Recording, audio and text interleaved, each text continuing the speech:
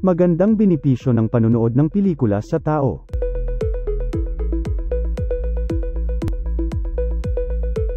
Isa sa mga best invention sa mundo ay ang movies. Ang mga pelikula na papanood natin, either gawa dito sa bansa o gawa sa ibang bansa, ay magandang entertainment para sa ating lahat. Pero alam mo ba bukod sa pagiging libangan, ay maganda din benepisyo sa ating katawan at pag-iisip. Ayon sa pag-aaral ng Chicago Tribune, ang panunood ng comedy film ay maganda sa iyong puso. Dahil 15 minutes ng pagtatawa sa isang pelikula, ay katumbas ng pag-e-exercise. Kaya naman laughter is the best medicine. Bukod pa dyan nakakatanggal din ng stress. Ang panunood ng comedy movie at mga funniest video. Ang mga pelikulang comedy, ay magre-relax ang iyong mode. Dahil wala itong idudulot kundi good vibes sa atin. May mga pagkakataon talaga minsan, na hindi man natin sinasadyang mangyari. Ang isang kapalpakan, ngunit sadya itong dumadating. At kung minsan magdulot pa ito ng kahihiyan. O di naman kaya katatawanan. Funniest video kung tawagin. Maging sa ating sarili o sa ibang tao man. Kaya samahan mo ako upang maghatid ng kasiyahan. Para ang lungkot at lumbay maiwasan.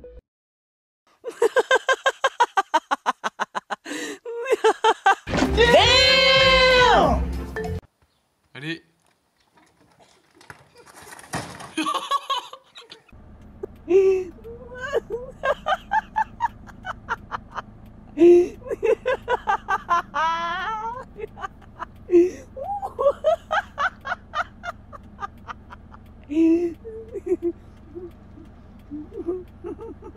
ha!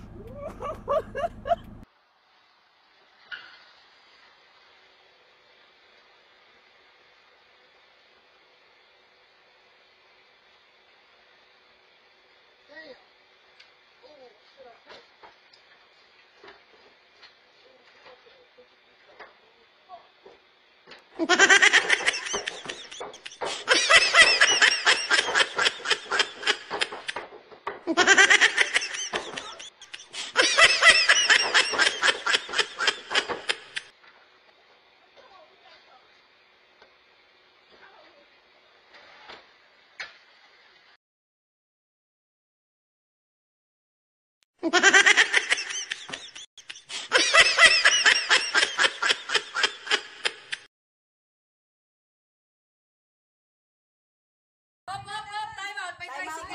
Time out!